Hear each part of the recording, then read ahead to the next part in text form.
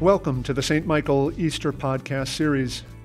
My name is Andrew Grosso, and I will be leading our meditation today. Our theme this Easter is community, rediscovering one another. After being physically separated for more than a year, we look forward to the opportunity to reconnect and become even more the kind of community that God intends. May the power of the resurrection strengthen us on this journey. Thanks be to God who gives us the victory through our Lord Jesus Christ. Today we're going to reflect on a passage from the letter to the Ephesians. This passage comes from the fourth chapter of Ephesians and is about the kind of community that Christians are to share with one another.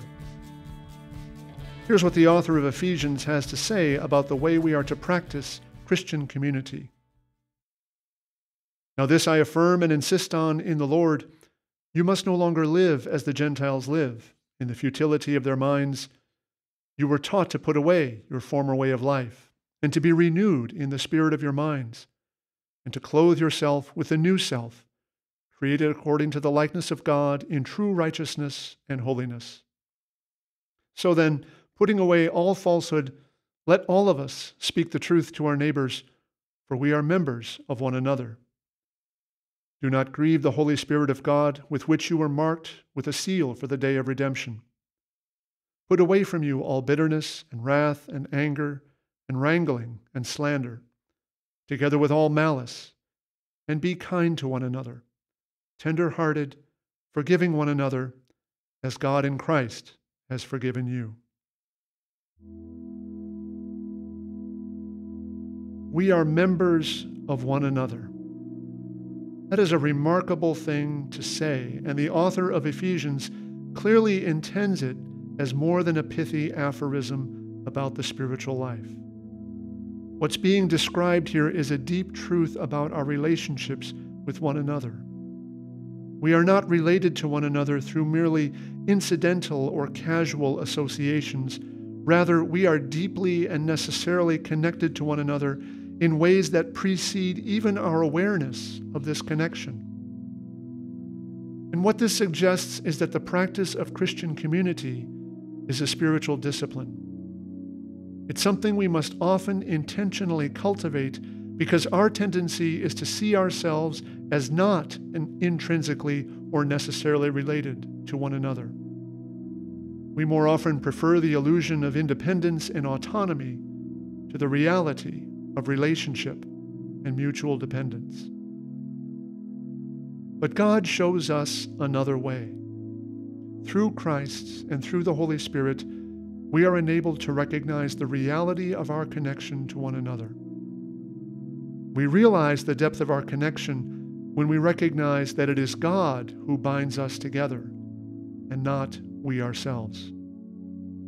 This is what the author of Ephesians has in mind when he writes, Put away from you all bitterness and wrath and anger and wrangling and slander, together with all malice, and be kind to one another, tender hearted, forgiving one another as God in Christ has forgiven you.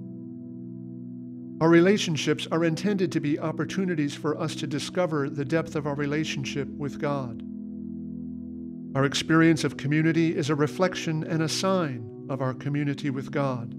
And when the people of God come together to worship or to pray, when they gather to share fellowship or to grow in their understanding of the life of faith, when they come together to minister to those in need, then God is present in the world and the community of the divine life is manifest. The practice of community is not incidental to what we do as Christians, it is rather at the very heart of who we are called to be.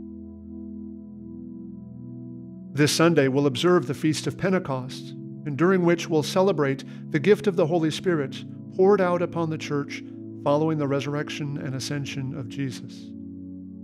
One of the clearest signs of the activity of the Spirit is the formation of communities that are transformed by the grace and power of God. Because of the COVID pandemic, we've experienced something of an exile from our experience of community.